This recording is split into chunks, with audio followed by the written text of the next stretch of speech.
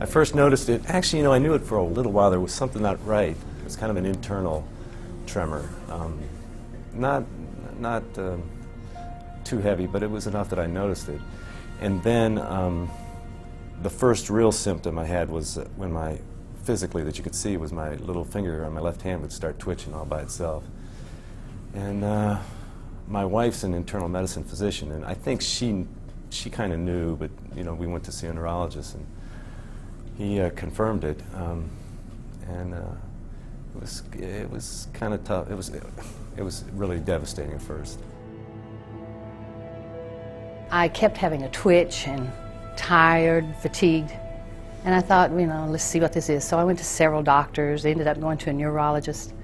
Of course, as you know, there's no specific test as yet to identify Parkinson's, so it's based on symptoms and uh, how you react to the medication. So when he says you have Parkinson's, I didn't take that as at face value. I said, I want to see a movement disorder specialist at a big medical center. So I went to Emory in Atlanta. Of course, they confirmed it, and I came back and I thought, okay. I looked in the mirror and I said, I must have Parkinson's. It was a slow transformation for me because um, as you live it, you start discovering, man, this medicine is expensive. Boy, I sure do feel bad. Uh, I can't go into work today.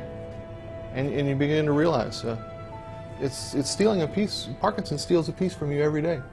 It's minute, but it's a little piece of you that's gone forever. Parkinson's can be cured. The scientists have said it. They just need money to finish it up, and it's within the next few years. Why would you not want to cure something if you can cure it? 60,000 people will be diagnosed with this devastating disease this year. It's time to stop the ball from rolling. And we can do it if we unite. Please don't wait. We, we need help now. Because if you wait, you may wait too long. And you can't be a help.